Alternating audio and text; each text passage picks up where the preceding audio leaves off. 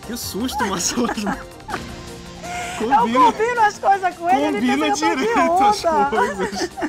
11h24, Amaral! Pois é, tá quatro minutos atrasado. Quatro minutos, só É. quatro minutos, porque a gente avisou que o horário do programa agora era 11h20. Um bom dia pra você que tá aí do outro lado e que permanece o mesmo, que não sofreu nenhuma alteração. Tá Agora ao vivo dos estúdios da TV em Tempo começa hoje, especialmente a partir das 11h20 da manhã, exatamente porque há uma mudança de horário devido à propaganda eleitoral gratuita no rádio e na TV. Então, a programação da TV em Tempo sofre essa alteraçãozinha. A gente vai fazer uma pausa daqui a pouco quando chegarmos ao meio-dia, mas depois do meio-dia e 50 a gente volta fazendo mais informação em comunidade para levar tudo isso até você que está aí do outro lado. Um ótimo dia, um excelente dia, volto a dizer, para você que permanece o mesmo, ok, diretor?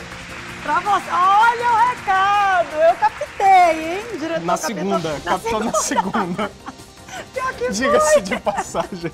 Conhece o Foi de segunda, Por Marcinha. falar em propaganda eleitoral, tu conhece teu eleitorado, né, Conheço, Amaral? conheço. Olha só, eu quero mandar um beijo muito especial pro Samuel, tá? E pra Adriana. A Adriana é mãe do Samuel, filhinha da Isabelzinha, nossa querida aqui, que é a mais antiga. Nós temos duas Isabel agora. A Isabel novata e a Isabel que é, antiguidade é posto, hein? Que tem autoridade aí na casa. E ela A mandou a, diferença gente é pedir que esse uma é beijo. braba e a outra é... Braba e meia. Braba e meia, né? É, a outra, minha Nossa Senhora, é um trato diário assim. A gente chega, vai dar bom dia. Que bom dia o quê? Eu falei, eu Mas sei a novata aprendeu a fazer um café delicioso. Espetacular. No olha. início não tinha quem a aguentasse. gente Era igual aquele que você faz de domingo. Não, senhor! Não, senhor, que meu um café pouquinho pior. agora. Já peguei a receita com a novata. Ah, não sou nem besta nem nada. Um beijo, Samuel. Um beijo, Adriana. Parabéns. A Adriana literalmente ganhou de presente de aniversário o Samuel, porque os dois nasceram no mesmo dia e estão fazendo Que aniversário bacana, né, hoje. Massinha? Isso é que é Legal, né? legal, isso é legal.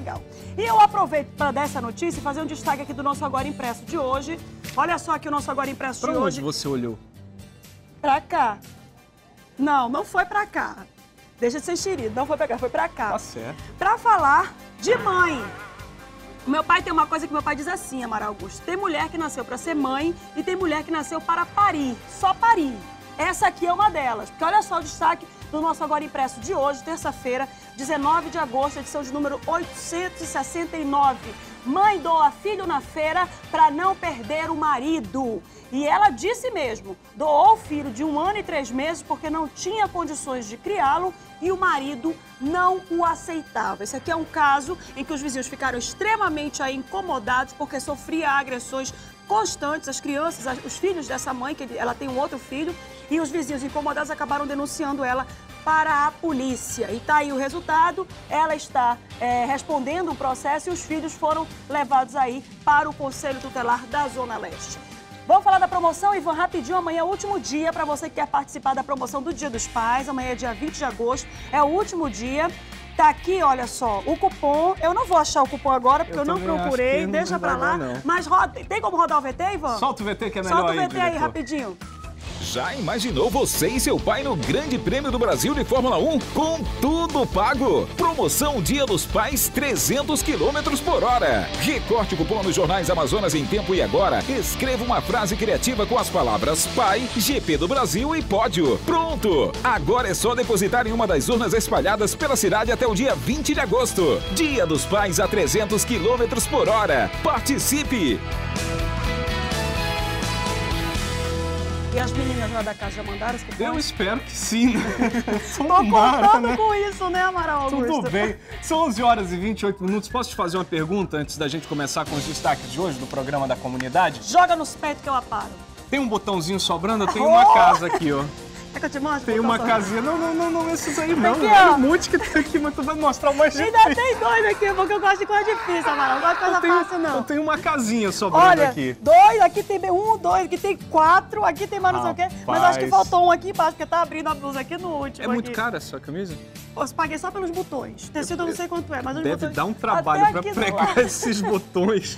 O Amaral tava dizendo, se cair um botão da minha camisa, eu já sei onde é que eu vou pegar. Pode pegar, filho, o que mais tem é botão? Não vai fazer falta. Nenhuma. Muito Pode bem. fazer um favor pra ficar mais Marcinha, leve manda um bom dia especial e um beijo muito especial também pra quem tá nos assistindo lá em Tefé e em Parintins, por favor. Vou aproveitar. Hum, ah, Beijo, peixinho, o coração explode Nem todo mundo precisa de sonoplastia, eu, eu gosto assim. Hum.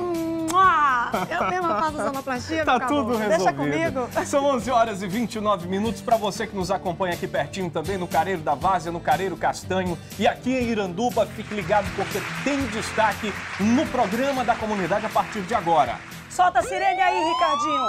Preso em carro roubado. Exatamente, essa é a história do vice-prefeito de Japurá, no interior do Amazonas, que acabou preso em flagrante enquanto dirigiu uma picape com placa adulterada e com restrição de roubo. E ainda manifestação. Depois da explosão, Márcia Lasmar que deixou um trabalhador ferido na refinaria de Manaus, outros trabalhadores decidiram protestar por mais segurança dentro da refinaria. E a gente vai trazer esse destaque para você e também confusão na 174. Imagine que a mudança de quilometragem da rodovia causou transtornos. Quem mora e trabalha ao longo da estrada reclama. Hoje também vamos falar de educação. Pais de alunos de três escolas públicas. Olha, isso é muito complicado, viu? É, é um destaque de educação que a gente vai trazer, talvez nesta edição. Tá, tá confirmada para esta edição, diretor? Estamos apurando ainda, não é isso? Muito bem, esse é um, esse é um problema seríssimo, Márcia Lasmar, que ao longo dessa semana nós vamos trazer aqui para o telespectador. E você fica ligado aí, porque a gente vai trazer para você. E ainda, um flagrante. Câmeras do CIOPS registraram o momento em que um cidadão acaba sendo vítima de assalto no centro da capital. E a gente vai mostrar para você. E ainda, direto da Zona Leste, nossa equipe de reportagem bota a mão na terra para nos ensinar a cultivar hortaliças nos espaços cada vez menores das casas, como, por exemplo, Casas, apartamentos. Apartamentos. É, O pessoal está querendo cultivar uma horta e não sabe como? Pois a Tatiana Sobreira e a nossa equipe de reportagem hoje vão responder. Tatiana, bom dia! Bom dia, Tatiana. Bom dia, Amaral. Bom dia, Márcia. Bom dia a você, telespectador. E na onda do minimalismo, você quer ter aquela economia?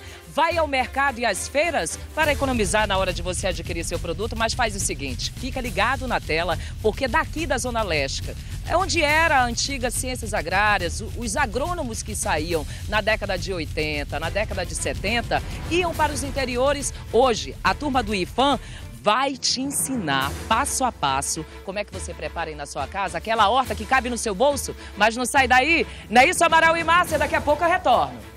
Obrigado, Tatiana Sobreira. Já gostei do nosso cenário de hoje, viu, diretor? São Homem 11 do horas e campo, 31, Samara. de... 31 minutos. Hoje, aliás, eu, tenho, eu vou começar fazendo logo uma pergunta antes de chamar a vinheta. Marcela Asmal, o desafio da nossa equipe é descobrir como se planta batata doce no vaso. E pode? Pois é. Essa é a pergunta. Eu pergunto um e pode com tanta convicção como se eu fosse perita em plantação, sou nada, Já plantou de batata Se doce? tu me disser que pode, eu vou acreditar em ti, Amaral Augusto. 11h32, o programa da comunidade já está no ar.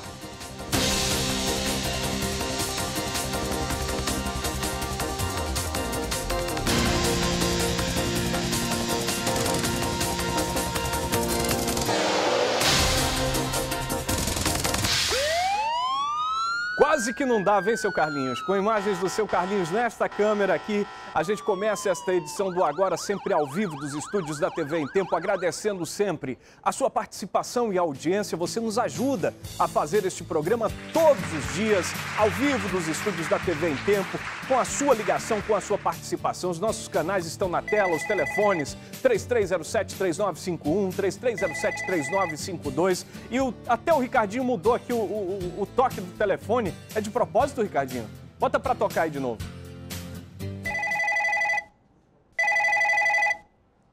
O que tu me pensando- diz, Marcela? Ele fica lá, toda vez que ele fica sem fazer nada, quando eu chego lá na cabine de áudio pra gravar um off, primeira coisa que ele me diz, de novo, lá vem tu. Segunda coisa, estou preparando aqui uma trilha sonora especial pro programa. Tá aí o resultado, ó. 8177-2096 também é o nosso WhatsApp, onde você tem a oportunidade de enviar a sua fotografia, o seu áudio, a sua sugestão de reportagem. Sempre tem alguém lá do outro lado recebendo e respondendo a sua solicitação. Vamos começar com destaque de polícia. Esse destaque nos chama bastante atenção. Me dá primeiro imagens na tela. Imagens na tela do veículo, Cristiano Loureiro. Quero só o veículo na tela. O veículo na tela, por favor. Coloca aí, Cristiano. Isso, segura aí, segura aí. Marcelo Asmar, ano passado, eu estava lembrando de alguns casos que nós mostramos aqui. Aliás, da prisão de um homem envolvido com um roubo de picapes de luxo aqui na capital. Ele foi preso em flagrante depois de uma operação, levado ao sexto distrito integrado de polícia lá na Cidade Nova. É bom a gente relembrar esses casos porque testa a nossa memória e mais ainda, mostra que o problema parece que não foi resolvido ainda. E lá, algumas vítimas estavam para fazer o reconhecimento e eu tive a oportunidade de conversar com algumas delas, que relataram proprietários de picapes como essa aqui, ó. Relataram terem sido vítimas da mesma pessoa, de um homem que chegava armado, rendia e levava o veículo. A polícia investigou e passou a entender que aquele homem fazia parte de um esquema maior, um esquema de roubo e de envio de picapes de luxo como essa para municípios do interior do Amazonas. Observe bem a gravidade e a atuação desse tipo de quadrilha. Ou seja, uma organização criminosa organizada especialmente para roubar e enviar veículos como esse aqui para o interior do estado. Márcia Lasmar. E não vai, a gente não vai longe não, Amaral. Semana passada, duas semanas, há uma ou duas semanas, a gente pegou aqui também, mostrou para você, contou para você a história aí de uma quadrilha inteira que fazia clonagem de documentação, de placas e tinha todo um esquema fraudulento para poder fazer isso. E no final das contas, a delegacia também chegou à conclusão que os veículos, desta vez de menor porte, veículo de passeio, não essas picapes luxuosas como a gente está mostrando aqui, também iam para o interior do estado. 11 horas e 35 minutos. Desta vez tem mais um político envolvido na receptação de carro roubado. E vem lá do interior do Amazonas, do município de Japurá. Destaque de polícia. Vamos acompanhar a reportagem e já já a gente comenta. Solta aí, diretor, na tela. A Polícia Militar prendeu o vice-prefeito de Japurá, Mário Jorge Maciel Barbosa, de 43 anos, no momento em que dirigia um carro com placas adulteradas e com restrição de roubo. Além do vice-prefeito, mais dois homens foram presos: Sebastião Barbosa de Oliveira Filho, 26 anos, e Gutenberg de Moraes do Nascimento, 28 anos. Eles foram presos com duas saveiros. Todos foram levados para o 59º DIP de Japurá, onde foram presos pelo crime de de receptação. Quem tem carro utilitário já sabe que tem esse risco. Geralmente faz um seguro, procura fazer porque tem esse risco de uma hora ou outra ser abordado por um ladrão e ter o carro levado. Só que esse esquema já existe há muito tempo. E eu fico me perguntando aqui por que, que não tem uma operação mais ostensiva de combate a esse tipo de crime. Porque ele acontece dentro dos limites do nosso estado rouba-se o carro utilitário na capital e envia para o interior. É aquela questão, enquanto nós tivermos a figura do receptador, a pessoa que compra o produto do roubo, automaticamente a gente vai ter ladrão aqui na capital ameaçando cidadão de bem honesto que compra com muito trabalho o seu veículo. E é isso que acontece. Tem político no interior posando de bonzão, de cheio da grana, de patrão, andando em carro roubado. E sabe que é roubado e compra por uma bagatela. E fica se mostrando lá no interior e acha que não vai acontecer nada, pois com o vice-prefeito de Japurá aconteceu, Marcelo Asmar. E Amaral, em época de eleição, em época de campanha e de propaganda eleitoral, a gente reacende aqui a responsabilidade de nós, eleitores, de nós, cidadãos, em avaliar a conduta, não só política, mas a conduta pessoal de cada um desses candidatos. A gente viu aí o vice-prefeito, que supostamente era para dar exemplo de retidão, exemplo de honestidade, exemplo de repressão ao crime e não envolvido também na criminalidade é uma coisa que a gente sempre diz aqui. Receber o furto, comprar a coisa roubada pela bagatela ou por qualquer tipo de preço é crime previsto no nosso Código Penal. É o crime de receptação de furto. Então não dá para você achar que está fazendo menos mal à sociedade ou menos mal a toda a população porque está simplesmente recebendo um furto, não. Só porque não roubou, é menos criminoso? Não. É tão criminoso quanto. Porque no livro que está lá escrito o crime de assalto, o crime de receptação está logo abaixo. Amaral. Exatamente. São 11 horas e 38 minutos. Vamos mudar de assunto. Você que está em casa, obrigado pela audiência. Ligue, participe, denuncie. Vamos ao vivo. a zona leste da capital. Tatiana Sobreira já está pronta aí, Tatiana? Deixa eu te fazer uma pergunta. Pessoal aqui... Apostos. Pessoal aqui na redação, pessoal não, né? A, a nossa repórter Roberta Cunha, especificamente ela, tem uma dúvida aqui que Ah. daqui a pouco você tira pra gente, tá? Ela quer saber se é possível plantar batata doce no Todas. vaso. Eu também tenho um monte de Bom dúvida, dia pra hein? você e pra nossa equipe. meu pai. Amaral, olha, tudo nessa vida pode, desde que você esteja empenhado e entendedor do assunto.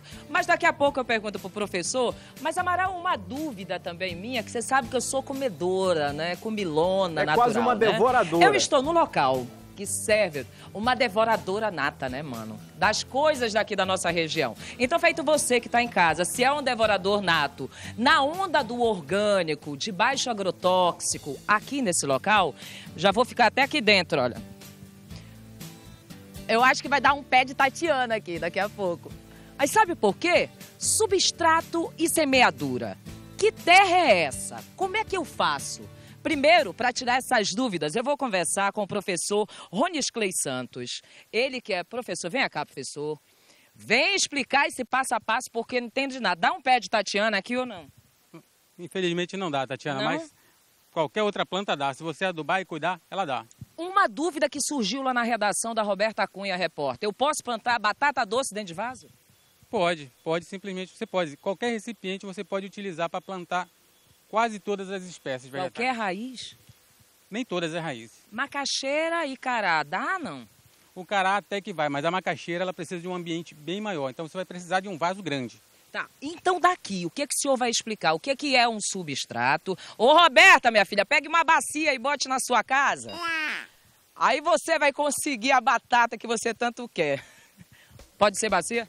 Pode ser uma bacia grande e profunda. Aqui qual é o passo? O que, que é substrato, o que, que é semeadura? Para eu, leiga, que quero ter a minha hortinha em casa.